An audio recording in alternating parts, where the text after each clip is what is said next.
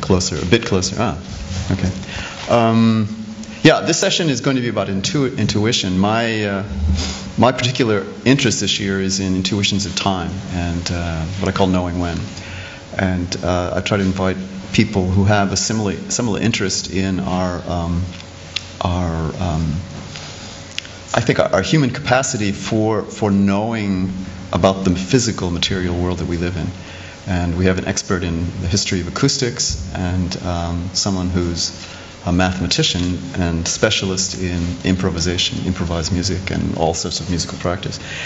My own talk is going to be about the inside out trombone, and uh, we have a, a, a, special extra at the end.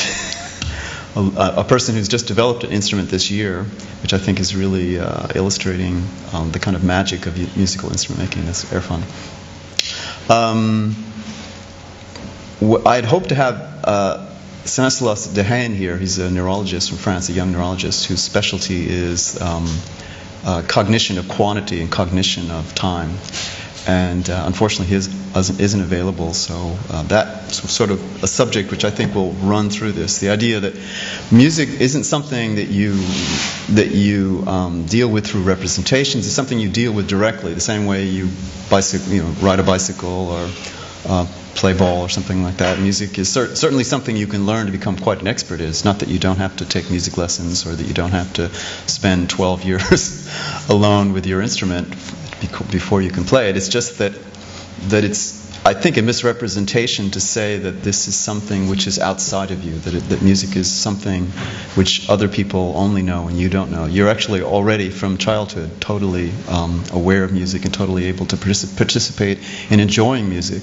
And the fact that complete amateurs can enjoy music by complete professionals, complete experts, is an indication that we somehow share some kind of. Um, of um, common cognitive grounds for, for this, this experience. And I, am very influenced in this, course, by, by Chomsky, who did this kind of liberation of language back in the 50s and 60s, where he tried to show that, that, um, that we have a language sense, that we have innate cognitive abilities which allow us to uh, comprehend and communicate.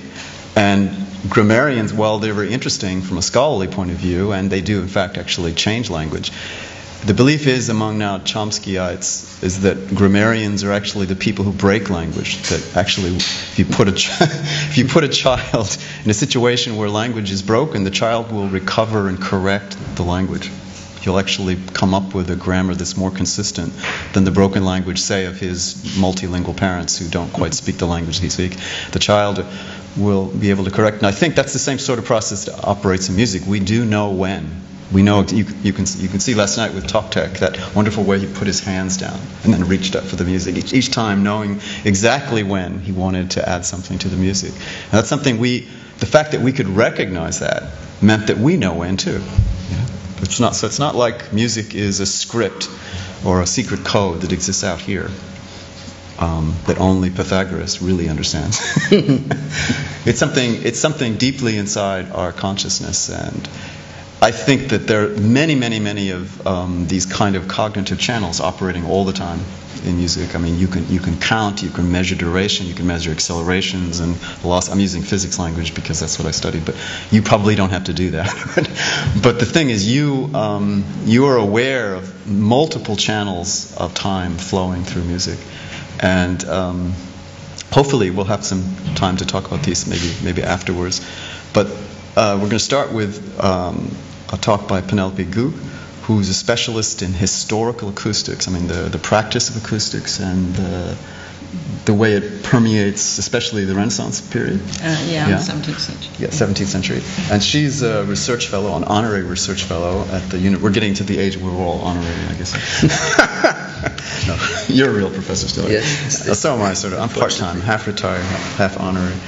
I'm the honorary director of STEIM or something. Um, um, she's from the University of Manchester, and she's going to talk about technologies of musical wonder. If uh, we could get a display. Well, thank you very much. Thank you very much for inviting me. Is that working? Can you hear me? Good. Okay, great. The Renaissance was a period of increasing wealth and leisure among the European elite. These discerning patrons not only accumulated luxury goods from all over the globe, but also expected to be entertained and aroused to wonder with new and powerful devices that demonstrated ingenuity and technical skills of the highest order. Their world of musical experience was also becoming enriched in ways hitherto unimagined.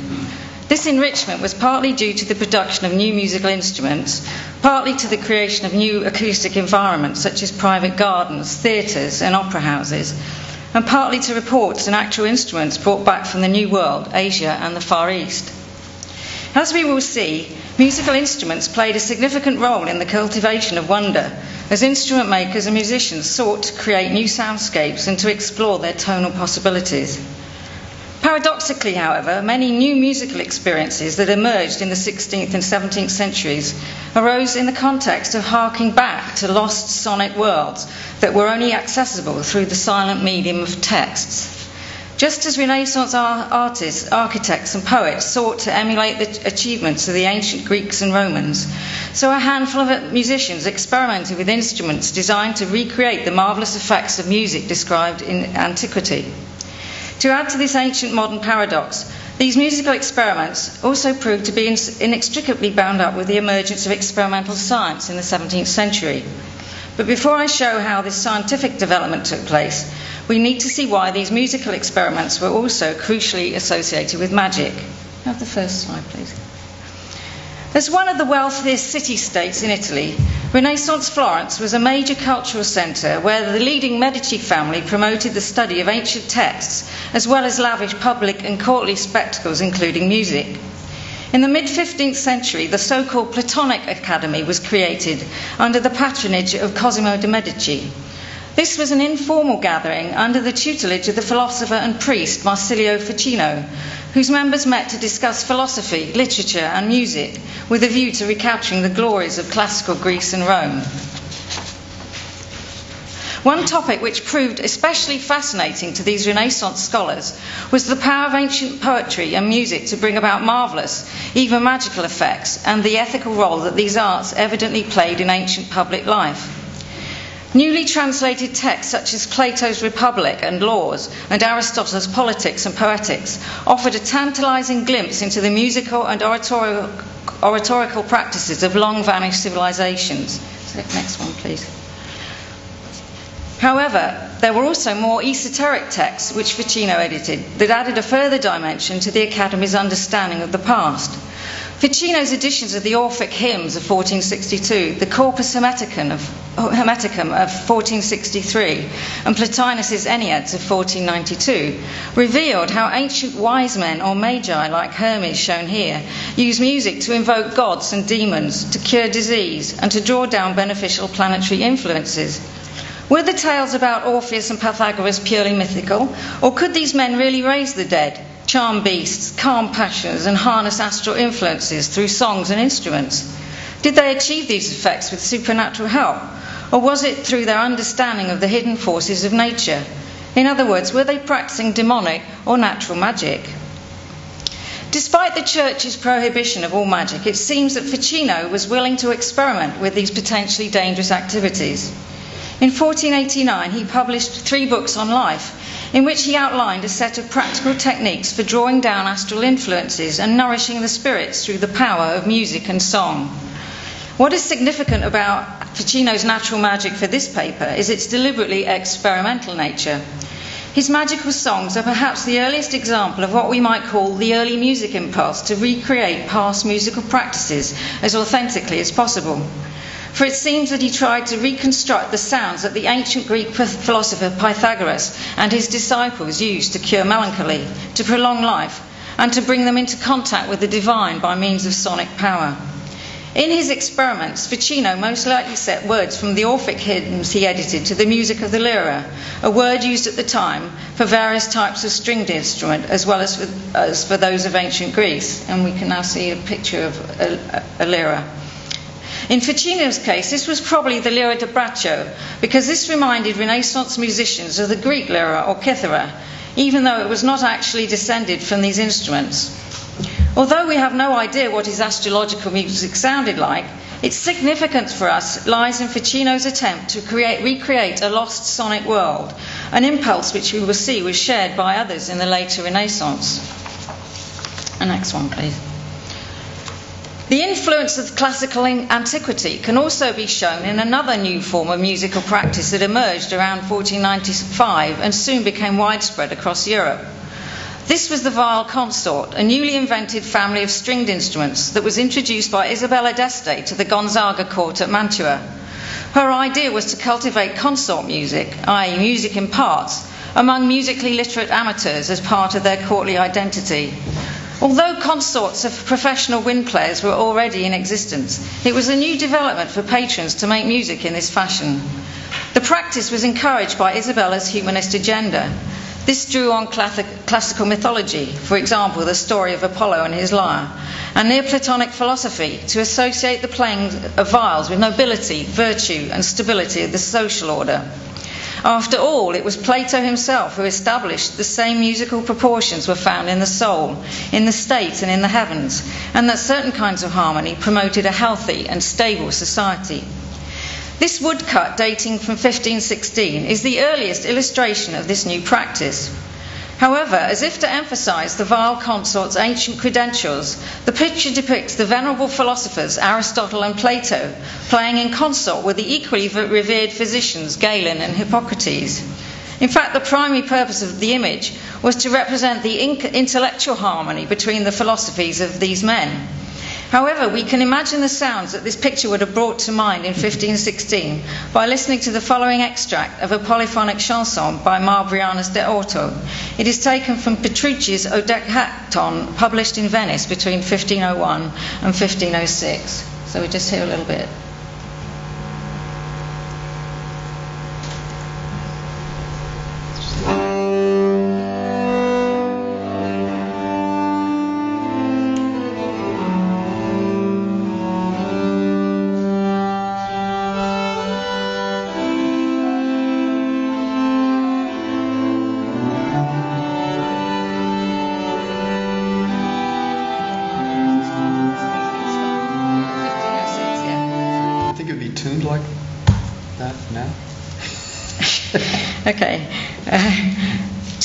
Texts that stimulated Renaissance interest in ancient musical marvels and acoustic wonders were ten books on architecture by the Roman architect Vitruvius of about 15 BC and mechanics by the Greek mathematician Hero of Alexandria in the first century AD. These ancient treatises provided an inspiration for engineers and their patrons with their descriptions of amphitheatres with resonating vases to improve their acoustics, hydraulic organs, musical automata, and speaking statues. Once again, we find the Medicis as prominent patrons of curious devices which display technical skill at the same time as giving delight. The most famous Mannerist garden was created for the Grand Duke Francesco I at Pratolino between 1569 and 1584 by Bernardo Buontalenti. Together with other skilled engineers, Buontalenti reconstructed many of the mechanical and acoustical marvels described by Hero, with the aim of arousing wonder at the hidden powers of nature and at his mastery of these effects. Next one, please. The Quirinal Palace in Rome had a similarly renowned water organ, the remains of which still survive. We know what it looked like and how it worked, thanks to the description and illustrations found in the Jesuit scholar Athanasius Kircher's Universal Music Making of 1650. The automatic organ was powered by a pin barrel mechanism turned by the action of water flowing across a wheel. Also of interest are the figures of the blacksmiths striking their hammers on an anvil that we can see in the top left hand corner. This is a reference to the story of Pythagoras discovering the mathematical proportions governing the musical consonances when he passed by a blacksmith's forge and heard musical sounds. And the next one, please. He supposedly weighed their various hammers and found that those with the weights in a ratio of 1 to 2 sounded the interval of an octave, those with a ratio of 2 to 3 sounded a fifth, and so forth. In fact, these ratios apply to string lengths rather than weights, but the principle of empirically demonstrating the laws of consonance still applies. While these organs were designed to follow an already existing tradition of manufacture, there were also other new instruments invented in the 16th century. Again, the influence of antiquity can also be seen in the two examples that I'm going to describe to you. The first of these was facilitated by the patronage of Ippolito d'Este, Cardinal of Ferrara, who supported the attempts of the musician Niccolo Vicentino to make the chromatic and enharmonic tuning systems, which are different from the diatonic which are used today, described by ancient theorists to make them accessible to modern practitioners. As well as researching into ancient and medieval music theory, Vicentino was also, also tested some tuning systems of his own. The impetus for his experiments not only came from the desire to restore a lost sonic art which could sway the passions, tame animals, and cure ailments, but also from a desire to expand the tonal range of his instrument to make it more flexible for accompanying singers. It was in his ancient music adapted to modern practice of 1555 that Vicentino described his invention of the archicembalo, a harpsichord like instrument with two manuals and six ranks of keys. This significantly increased the number of pitches available to the performer and allowed transposition into a range of keys at the same time as keeping the consonances pure. In other words, this keyboard was most emphatically not due to equal temperament, where all the intervals are compromised, but rather prioritised pure intervals such as the third and fifth. Next one, please. The second new instrument I want to talk about was the chitarrone. This is a large lute like instrument with an extended neck and an extra course of strings that was invented in 1589 by the lutenist Antonio Naldi. The occasion was a sumptuous musical production that took place as part of the wedding celebrations of the Grand Duke Ferdinand de' Medici and Christine of Lorraine. Staged by Count Giovanni de Bardi, whom I'll say more about, this production comprised a series of elaborate intermedi or interludes on the theme of the power of music that took place in between acts of a comic play. As its name suggests, the chitarrone represented a deliberate attempt to imitate the ancient kithara, which was known to have been used in antiquity by poets to accompany their verse, although, of course, there were no surviving examples to model it on. At the beginning of the first interlude, which was on the theme of the harmony of the spheres, two chitarroni, a lute and an organ, used to accompany, were used to accompany the singer Vittorio Archilei in a newly invented style of song known as monody. Here, the rhythm and melody follow the manner and speaking voice of someone possessed of a certain affection or mood. Again, an invention deliberately intended to recreate the effects achieved in the ancient Greek theatre. So we'll just hear a little bit of this opening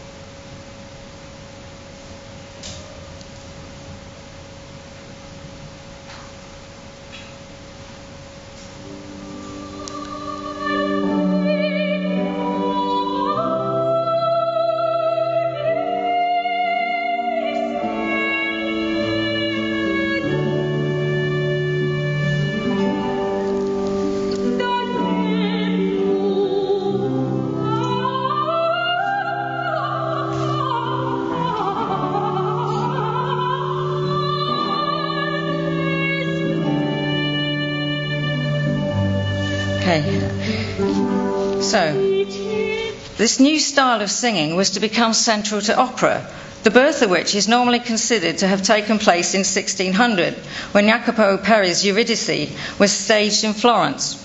However, for the origins of monody, we have to go back some 30 years to the point when Bardi began to convene an informal academy which met to perform songs and to discuss a wide range of subjects, including music, poetry, and astrology. Apart from Bardi himself, two of the most important members of the Florentine Camerata were Vincenzo Galilei, a skilled lutenist and father of the more famous Galileo, and Girolamo Mei, a renowned expert on Greek music theory. These three men were passionately committed to the revival of the ethical effects of ancient Greek music. In other words, its capacity to move the affections. They believed this could only be achieved through setting verses to music in the same way that the Greeks had done, a technique which it was, of course, hard to discover since no instruments or sounds were available on which to model their efforts. It was thanks to Mei's research on ancient Greek practice in the 1570s and early 1580s that they had a basis for developing a style of performance which seemed to capture its essence. In fact, the Florentine Camerata's pursuit of an ancient ideal not only led to entirely new forms of musical and artistic practice, i.e., monody and opera, but also contributed to the development of a new form of scientific practice which emerged in the 17th century. This was the so called experimental philosophy, which generated scientific knowledge through the use of instruments. The development took place because, in the course of the Camerata's discussions about ancient music, they came to disagree about the nature of musical consonants and also began to focus on problems associated with tuning instruments. These problems, they believed, could only be resolved empirically. In effect, they were using musical instruments as scientific instruments with a view to generating reliable knowledge experimentally. Up to this point, the theory governing consonants was still based on the mathematical principles set out by Boethius' book on music, which dated from the 6th century AD. Boethius was the most important source for the story of Pythagoras' discovery of the relationship between arithmetical ratios and the proportions of the musical scale. It is fascinating to learn that although at first Galileo believed this account, by the late 1580s he became the first person to actually check the results of Pythagoras' experiments arising from the blacksmith's forge. In the process, he discovered that most of them were incorrect. This revelation proved to be the starting point for further investigations into properties of musical strings and other resonating bodies that his own son Galileo and other natural philosophers began to conduct in the early 17th century. Next slide, please. In fact, the Florentine Camerata was not the earliest Italian academy interested in experimentation and wonder. A precursor was the Accademia Segreta in Naples, whose members were fascinated with secrets and magic in the 1540s. Some ideas of their uh, some idea of their activities can be gleaned from Giambattista della Porta's Magia Naturalis, i.e., natural magic, first published in 1558. Among other things, this book contains chapters on hydraulic organs and experiments with wind instruments. It became the starting point for the investigation of Porta's own Accademia dei Secreti, which met in Naples during the 1560s and early 1570s. Porta went on to publish an enlarged second edition of the Magia Naturalis in 1589. This expanded version, which became an international bestseller, included other musical and acoustical marvels which had a direct influence on the development of 17th century acoustics. So, what exactly was natural magic and why should it be relevant to the emergence of experimental science?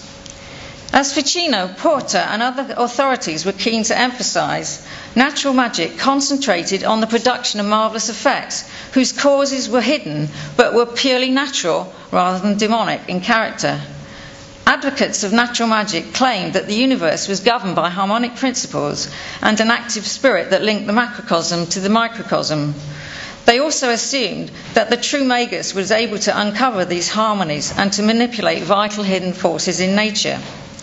Sound, especially musical harmony, was a particularly important dimension of natural magic because it had the power to transform mood and behaviour by action at a distance. Next one, please.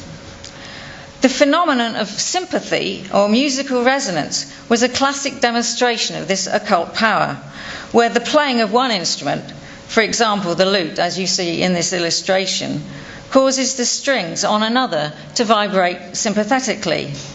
As the lutenist plucks the strings of his instrument, those of the instrument on the table vibrate sympathetically and causes the straw laid across them to move without being touched. So this is uh, happening without any uh, any clear sense of how it happens. It seems to be invisible to the, to the senses. Other important magical principles were the belief that art can effectively imitate nature, and also that instruments can overcome the limits set on the unaided human senses. Thus, the eye, for example, can be aided by optical devices to see further, spectacles, the telescope, while the ear can be assisted with hearing devices that enable sounds to be heard over long distances, so the speaking trumpet or the hearing trumpet. This manipulative approach is, to nature is now accepted as characteristic of experimental science and technology, but in the 16th 17th century it was most often recognised as a feature of magic. Next slide. In the course of the 17th century, however, the status of natural magic declined, while experimental philosophy increasingly gained recognition.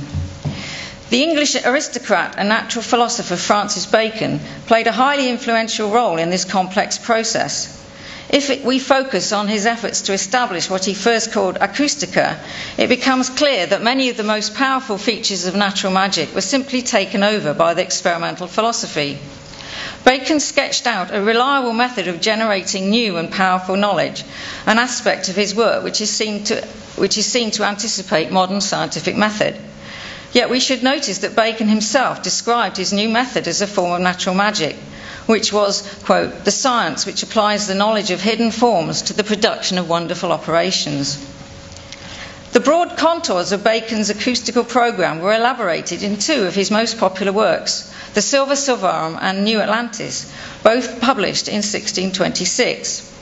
His vision of Solomon's house, described in the New Atlantis, includes remarkable oral wonders, which, as a summary of existing and future technologies, is worth quoting extensively. We also have sound houses where we practice and demonstrate all sounds and their generation. We have harmonies which you have not, of quarter tones and lesser slides of sound. Diverse instruments of music, likewise, to you unknown, some sweeter than any you have, together with bells and rings that are dainty and sweet. We represent small sounds as great and deep, likewise, great sounds extenuate and sharp. We make diverse tremblings and warblings of sounds. We represent and imitate all articulate sounds and letters, and the voices and notes of beasts and birds. We have certain helps which set to the ear do further hearing greatly. We also have diverse strange and artificial echoes, reflecting the voice many times, and as it were tossing it. We have also means to convey sounds in trunks and pipes, in strange lines and distances. While the New Atlantis concentrates on the creation of effects, Bacon Silva addresses the causes of particular phenomena. Among the principal themes addressed in the Silva are the general properties of sound, a comparison of light and sound, the construction of acoustical instruments, and a systematic investigation into the different properties of musical instruments. A major inspiration for this was Porta's Magia Naturalis, but Bacon also knew from his own experience at the English court that instrument makers and the royal musicians were engaged in experiments designed to produce particular emotional effects in their audiences, which was the essence of the Baroque style. The way that Bacon's experience of courtly musical practice shaped his thinking is vividly demonstrated in his observation that the sweetest and best harmony is when every part or instrument is not heard by itself, but a conflation of them all. Just as we saw in the case of the Galileis, father and son, the scientific investigation into the nature of harmony which Bacon proposed followed from experiments that had already been successfully conducted by musicians themselves. This trend was continued in England with the founding of the Royal Society in 1660, a body devoted to experimental philosophy that looked back to Bacon for their inspiration and guide. Before we consider what the Royal Society had to do with acoustics in the latter part of the 17th century, let us turn to two other influential figures in the development of this emerging discipline. Both individuals were Catholic monks who wrote encyclopedic works on music and who believed that the universe was constructed musically. However, the Frenchman friar Marin Mersenne, the author of Harmonie Universelle, published in 1636, was one of the most vociferous critics of the fashionable occult philosophy. Against this, the German Jesuit Kircher, who published his Universal Music Making in 1650, grounded his work in the occult tradition. Next slide. During the 1620s and 30s, Mersenne undertook a comprehensive investigation into the nature of sound that Bacon seems only to have dreamt of. From a practical perspective, one of the most important components of the Harmonie Universelle is the Traité des Instruments, which is still one of the most valuable sources for our knowledge of 17th century performance practice. Next slide divided into strings, keyboards, wind, and percussion, and also including folk and non Western instruments. The work includes illustrations and detailed discussions of tuning practices to an extent never previously achieved.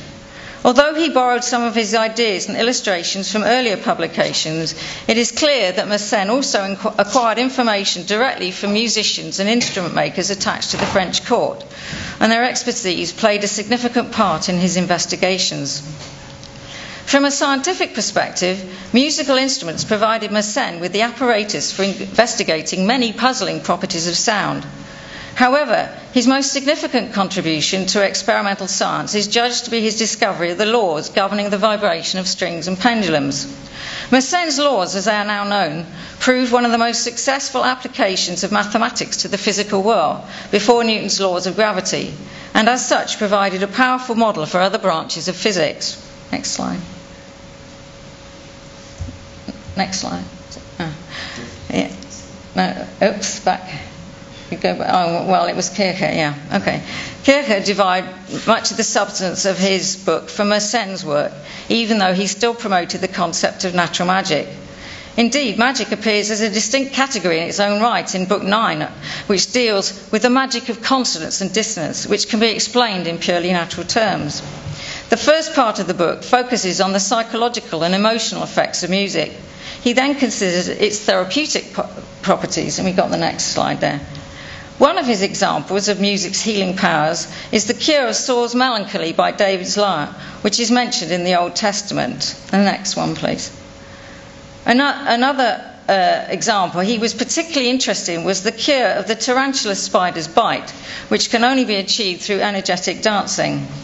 Also, although Kircher did not explicitly classify automatic musical instruments and composition machines as magical, they were included in Book 9 because of their various sources of power, such as sunlight or wind or water, are hidden from view.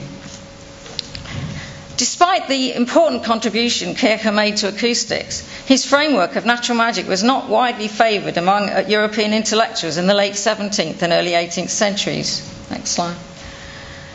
The Royal Society of London, for example, one of the first public societies devoted to the experimental pursuit of natural philosophy, looked to Francis Bacon for their model of science. In 1666, the French Académie Royale des Sciences was established. The creation of these public bodies marked a major step towards the recognition of experiment as a valuable philosophical enterprise. Nevertheless, there was a clear overlap in subject matter between natural magic and the new experimental philosophy. Contact with Kircher and other figures who promoted natural magic was also cultivated. In the first 20 years of the Royal Society, a number of acoustical and musical instruments were demonstrated at its meetings. I've got one here. No, next one. Yeah, thanks. These included the monochord and the archicembalo in 1664, the hearing trumpet in 1665, and the speaking trumpet in 1670, which you see here uh, and even a toothed wheel that could be rotated to produce musical sounds in 1681 that was similar to Savart's wheel of the next century. This latter device was invented by Robert Hooke, who was the first curator of the Society's experiments and who seems to have been chiefly responsible for directing members' interests towards sound and music. Hooke seems to have been interested in musical phenomena, but for using them to, the, to understand the harmonic structure of the universe. In brief, he believed the universe is made up of minute particles which act like vibrating strings, following the musical laws that Mersenne had established. Those of a similar bigness and matter vibrate in sympathy and cohere as solid bodies, while other vibrating particles, depending on their frequencies, make up different bodies or fluids. He also thought the universe was filled, uh, or you could conceptualize it in terms of vibrating particles, which also obey Mersenne's laws. And he thought this, this model might potentially explain such different phenomena as gravity, magnetism, and light. And along with these musical analogies, Hooke used many of the experiments he conducted for the Royal Society as a means of demonstrating the harmony of nature. So, he, for example, he, his tooth wheels showed a direct correspondence between pitch and frequency, and he suggested that the ear itself is like an instrument which was designed to respond sympathetically to vibrations within a particular range of frequencies. This account of Hooke's demonstrations before the Royal Society may seem to have taken us a long way from the musical and acoustical wonders sponsored by wealthy Renaissance patrons, but in reality, the link between these realms of science and leisured entertainment was closer than you might think. In the first place, there was still an element of wonder in Hooke's demonstrations, which were meant to arouse curiosity and delight among society members. Secondly, his experimental style, developed in his role as curator of experiments, strongly resembled the practices of the wondermongerer, a figure whom Hook said seems to aim at creating pleasure, admiration, and wonder, and not of such a knowledge of bodies as might tend to practice. Lastly, the actual sites where the Royal Society met in London, for example, Gresham College, were physically close to the theatres which aristocratic society members frequented and were equally regarded as places of entertainment. This proximity and even overlap between science and entertainment was continued into the 18th century, when, when a number of mathematical practitioners began to give public le- lecture demonstrations on physics, including acoustics, to fee paying audiences in major cities around Britain. Moreover, they took place in venues which were also used for dancing and musical concerts made available to the public, paying public. In other words, what we see happening in the latter part of the early modern period, at least in Britain, is a shift away from mostly courtly patronage, where the secrets of nature were only made accessible to a privileged few, towards a more inclusive commercial environment in which those with money to afford it could also access these kind of natural philosophical wonders. Thank you. And just at the end, I want to make uh, credits known. So if you skip the next one and go on to the last thing, have I got? Yeah, yeah. I was asked to give you the credit, so I've done that. So, so thank you very much.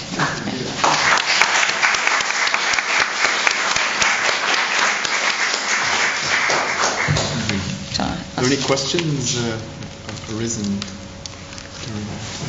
I, I, I was at the very beginning. We were, you were talking about the the discovery of ancient music on the part of the After Marsilio Ficino. And it's interesting to, to think about this time in which, in which Italians who are right there in the Mediterranean haven't been able to speak Greek for 800 years and haven't been able to read original manuscripts. And suddenly with Marsilio Ficino, you have someone who can actually, mm-hmm. and he's asked to read all these magic manuscripts, mm-hmm. harmonies and things like mm-hmm. that. And, and at the same time, um, a musical style is being developed.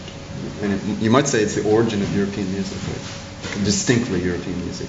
And I was wondering because the idea is that they were trying to imagine music that, that they couldn't hear because it was ancient music, and yet they were in direct contact with Greeks, really living Greeks, who played liras mm. and lived in Crete or, or mm. you know, in Istanbul or Alexandria or Cairo or something like that but they weren't interested in that music. No. They were interested in a new music which they which no one had heard in some way. Mm-hmm. And that's an interesting moment in history. Yeah, I think that, that's right. I mean, you don't really get that interest. I mean, Kircher becomes more interested in the 17th century. Yeah. Uh, by that time, the Jesuits were in all parts of the New World, yeah. and they were he was receiving all kinds of really interesting information about music, different musics, and so on. But in Ficino's time, um, they weren't. Uh, I mean, they were just beginning to think about the possibility of sort of music, uh, local, localized music, and, and uh, but they, but always the Western theory is underpinned by this so-called continuous tradition going back to antiquity. You know, mm. the legitimation of it is always with reference to the ancient Greeks, but not the modern Greeks. Not the modern Greeks. Absolutely, yeah. yeah. It's an interesting, yeah. interesting moment of this difference. Yeah. yeah. There must be a big story there. yeah. Sure. Yeah. Any more questions? Oh, yeah, Dave. This passage you read This uh, passage you read by Francis Bacon mm-hmm. um, is very famous in contemporary music circles. Um, Daphne Oram had it pinned to her door at the BBC Radiophonic Workshop. I can't hear you actually. Sorry? I can't hear you very well. Ah, um, Daphne Oram had that passage pinned to her door at the BBC Radiophonic Workshop uh, in the early 60s. Okay. I came across it in the early 70s, and it seems to be a touchstone ever since. But I still don't really fully understand the context of it, it you know, where these extraordinarily prescient ideas came from. Um, and in, in some respects, I don't understand why they didn't develop further into a music. You know, because in a way they anticipate 20th century music, but uh, you know, why, if those ideas existed in Francis Bacon's writing, didn't they come to more clear fruition before the 20th century? Well, I think we mustn't underestimate the uh, localized nature of Bacon's uh, fame, if you like. I mean, well, having said that, it, it his Silva Silvarum, uh, uh, sorry, and the New Atlantis, they did become bestsellers, but only sort of towards later in the century. So towards the end of the 17th century, that you see that uh, happening. But the other I mean, what's striking about Bacon is he doesn't put his money where his mouth is at all. I mean, he doesn't, as far as I know, he, do, he doesn't actually do his experiments, which is why Mersenne is important, because he really does. Um, but as far as the music goes, uh, where he got the ideas from, I mean, I think I'd like to believe that he was actually talking to musicians, you know, but we don't have evidence for it. I, I, well, that's why I'm pointing to the court circle. I mean, at this time, the English uh, court had the largest musical household in Europe. Uh, the largest stable one. I mean, it had you know bands of lutenists, uh, viol players, violins. It was bigger than in France and everything. Uh, and uh, I'm sure. That, I mean, they were certainly experimenting, at least with the you know with the, and how they were coming plays and things like that with Shakespeare and, and so on. Uh, but I think with um, I still can't say explain why they wouldn't do what you want them to do in the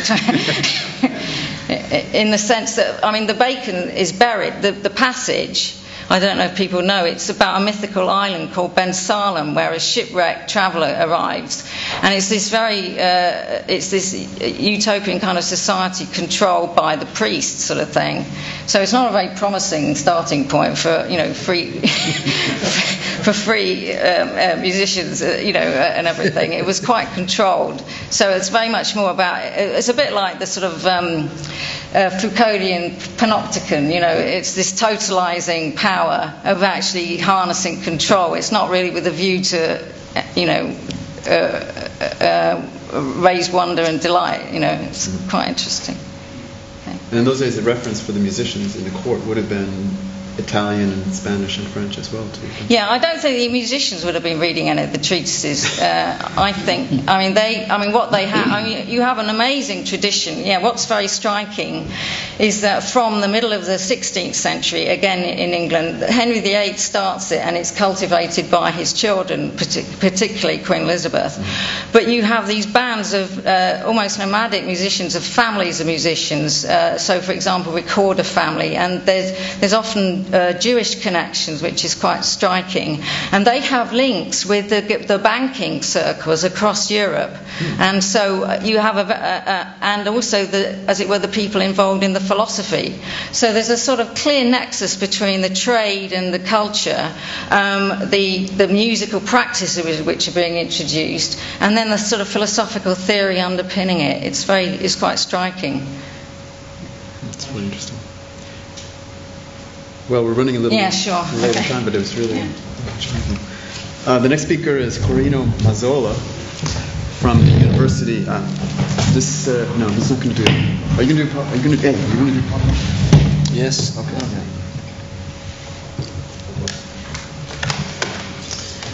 Is there audio? Yes, yeah. there is audio too.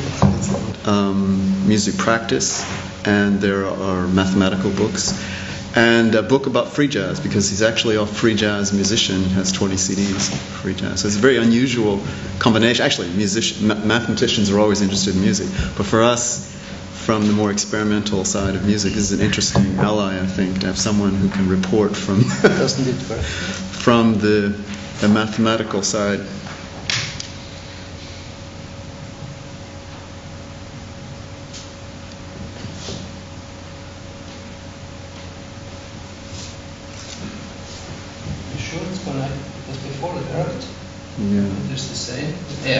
It just takes a while. Sorry. No. You just go ahead, I think. Uh, oh, yes, just go ahead, yes. I'll just be improvising. Okay. Yes, um, so um, thank you for inviting me here. It's kind of an exotic thing, such a horrible abstract mathematician. but uh, as you know, I'm also kind of a practicing free jazz pianist, so I have also the counterpoint and I'm interested in concrete things too, so not, not only in abstract things. So Joel, uh, he stressed that time is something he's very much interested, and my talk will be about gestural composition. And why are gestures related to time?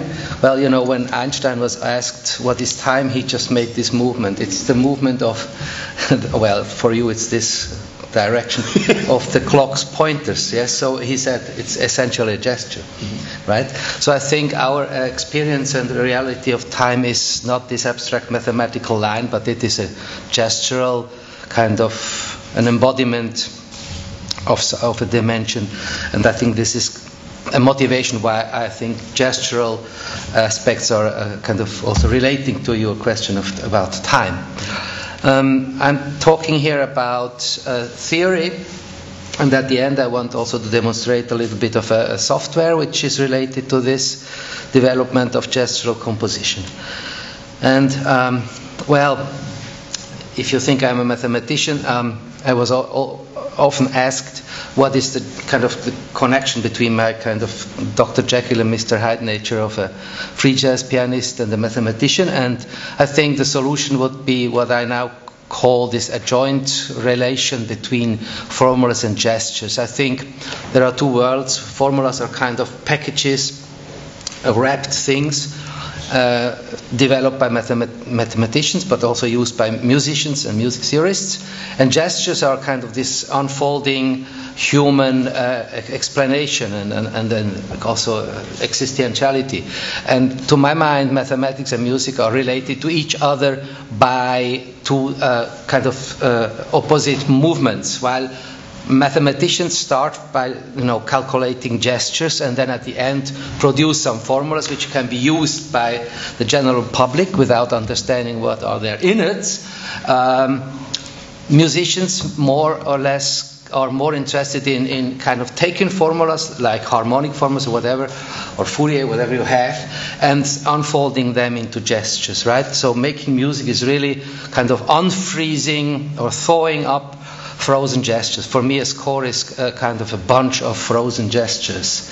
Also, historically, they come from the neumes. So, I mean, mm-hmm. that's the point, and that's also a difficult point for the new complexity, like Brian Ferneyhough, how they, they produce kind of a paper paper music, and then the poor musicians have to kind of unfold them until they are uh, producing gestures more or less faithfully, less faithfully in this case, uh, to the score.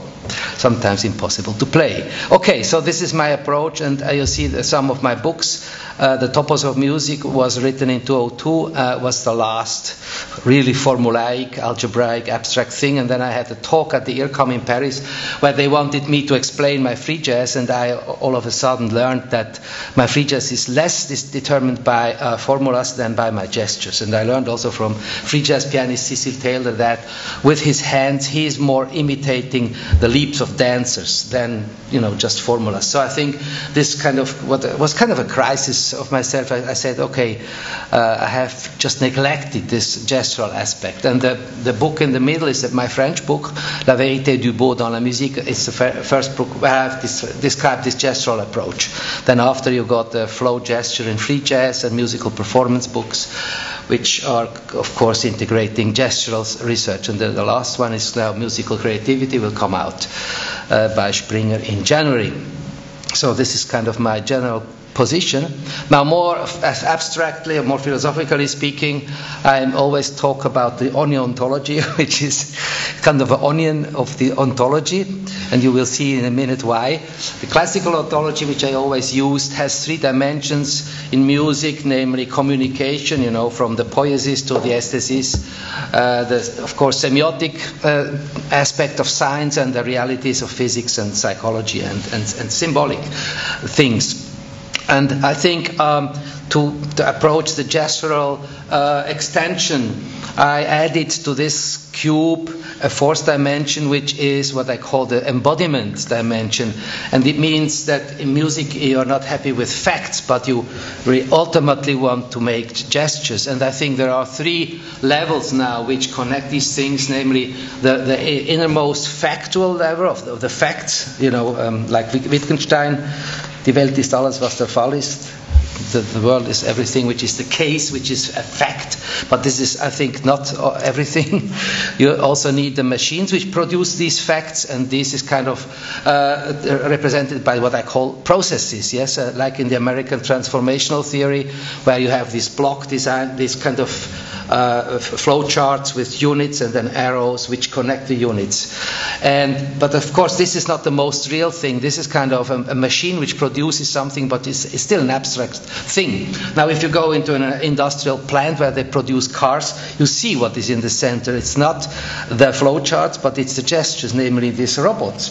Yes, it's, it's gestures. So I think gestures are really the, the thing where the, the uh, the real thing happened. So it, uh, I developed kind of a, a whole uh, concept framework which connects the facts to the gestures, right? So I'm going to talk about that now. Um, in the following sense that we have one we have three levels now right? We have the level of facts where, where you have the nodes the chords and so on which can be represented in more or less gener- general uh, concept frameworks. My own one is the, uh, that one of, of, denotators which kind of is a, a gen- generic language uh, for uh, musical concepts and the second one would then be the level of processes where you have diagrams, right? You have points and they are connected by arrows. And this is typical for also the American transformational theory. And this is, of course, more than the facts, it just kind of connects these facts as, as they are produced. And then the, the, three, the, third level would be the level of gestures, where you really have mo- continuous movement in some topological spaces. And in this systematic thing, you have several movements, several transformations. The first one would be something which I call poietize, you know, from the communication theory. Poiesis means the making. So this transforms the, the facts into an interpretation as results of transformations. And I think this is the, the center of, the, of David Lewin's idea of a transformational theory. That you are not happy with the results, but you also want to tell how these results come up. And so that means that you take an object and you, you look at the path which is defined by certain transformations, and you get at the result, and the result would then be again some fact. So this is kind of the connection of these two things here. And uh, that's what I would call factualized. You just go through the process and then you have a result. The second thing uh, would be to transform gestures into, uh, into uh, to, to, processes. And this is what we will describe uh, below by a, ge- a, finger input. So we, we, are interested to make gestures in order to describe processes. I think this is extremely important because this is a human approach, right? Um, and this is what I would call formalize. Then the opposite would be that you take uh, certain process diagram, diagrams and transform them into gestures, and I'll describe that by use of the Bruhat uh, composition of transformations in mathematics. That will be just very short, but just that you see how it works. Okay, so that's what I would call gestualize. And I think this whole con- uh, conceptual framework is very important to connect abstract categories of music to the most concrete gestural ones. And I think that, that you need a theory of that, otherwise, kind of music uh, splits into uh, disconnected things. And I think this is extremely important. When you make instruments, you work, of course, on the lowest level of gestures, but you also are interested in kind of connecting these concrete uh, gestural uh, utterances to more abstract categories, right? So I think this is kind of a an idea. And I will then uh, also describe the Rubato software approach where we are working in this direction. Okay, let's start with the upper thing here. Now let's go a little bit into some concept fra- frameworks. And uh, I have to apologize that I'm always making this abstract stuff here, but I think uh, that the abstract is the concrete. Yes, I, I believe that the humans when they walk through, this, uh, through a street, yes, they are so strongly abstracting from what's really going on. You know, you don't care about your, your physiological details, you just go from here to there. So I, I, our survival is really by abstraction. so I'm sorry. Uh, so I think the abstract is the concrete here. Yes.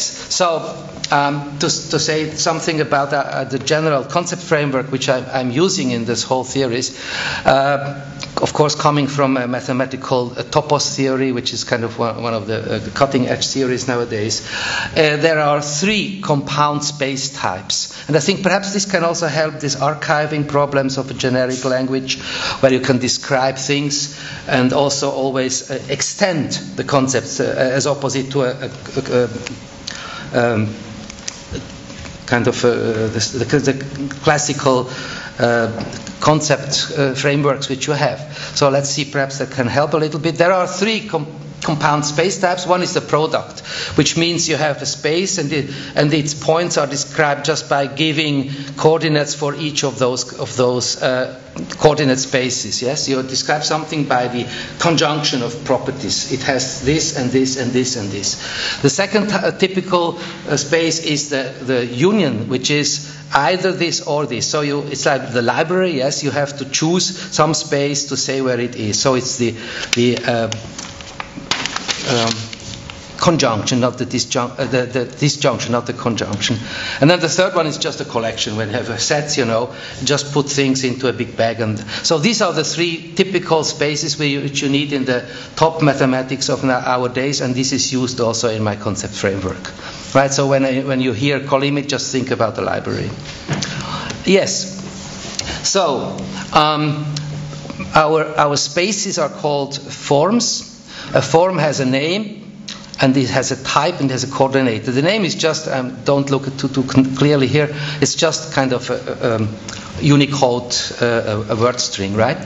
And it has a type. This means it's either a, a simple mathematical object like a module, or it is um, a limit or a colimit or a or power. So it's kind of one of those uh, three compound forms, or it's a simple form. And then it has also a functor, which means it's, it's kind of a, a, geometric space which is associated with these uh, coordinated types. And of course, as in mathematics always, you need also morphisms, kind of functions between such objects. And what you have is if you have two such forms, f and g, you look at their functors and you have a, tr- a natural transformation of functors, which is uh, uh the thing which plays the role of, of functions in this big category. So there's kind of a, a, nice mathematical context where you have all these things. So this is the category of forms. It's kind of a, a big, big category of spaces, space types, where all types of spaces which can be conceived in modern thinking are comprised.